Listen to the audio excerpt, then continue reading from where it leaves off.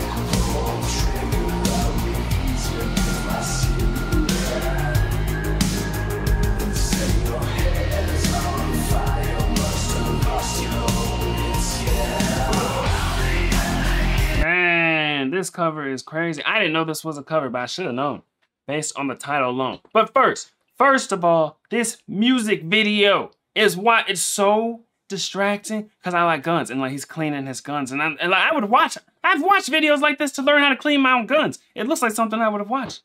You know what I mean? Because that's, I mean, I had no one to teach me how to clean these things and they must be clean. And so I'm watching videos like this, cleaning things. So it's just like, it's taking all my attention. That's why I keep closing my eyes, honestly, because I'm just like so watching it is just like literally it's I'm in my leisurely time and watching a video learning how to clean some you know what I mean? It's just oh my goodness I really need to go like this this whole thing because it is taking 100 percent of my attention. But anyway anyway I closed my eyes and I was able to enjoy the song some listen to the song. The vocals are kind of trippy because they're they're like in slow motion or something and they sound a little bit robotic you know what I mean? The music it just feels like it's building up to something. Like the music in the verses, and I guess it's building up to the chorus, but it's just like making me a little like, you know what I mean? A little antsy, like in a, a movie.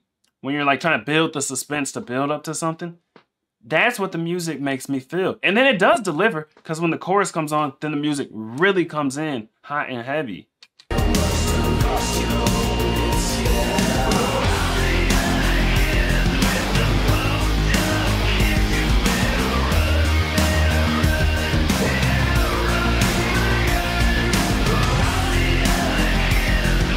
This video is crazy.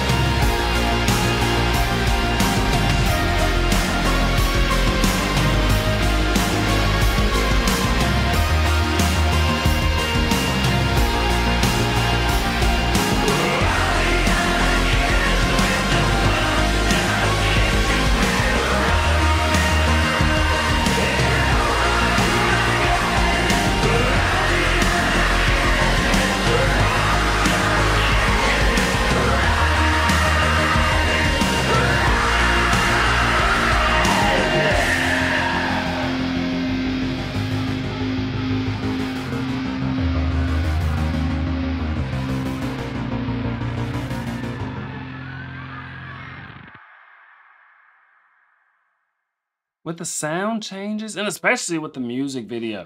It changes the meaning of the song. I don't know with the original version. If I would be thinking it's a police raid in the police, because they're doing it from the police's perspective. It's like first person, at least during the raid, you're like, it's like dash cam footage or helmet cam footage. And you're seeing the police and they even arrest a kid like what? Well, at least they weren't shooting, so it wasn't like you had to outrun the gun. But it's that same feeling, someone busting your house with guns and things. But this one made it feel like it was from the police's angle. But the vocals, without the music video, I would have just thought it was a crazy person. You know, you better outrun my gun. Like it was like slow motion and a little electronic sound. I would have just thought that this person was super crazy. But then I guess in the original version, what other conclusion could you come to if someone's telling kids to outrun their gun like they're all from crazy people. So it's really the music video. I would not have thought thought about this song from the perspective like the singer being a police officer or something. That's interesting. That's an interesting interpretation. I don't know. Tell me, man, what do you know? What do you know? Me and my boys on the road. We to go. She told me, boy, you to go. Like I don't know but I don't.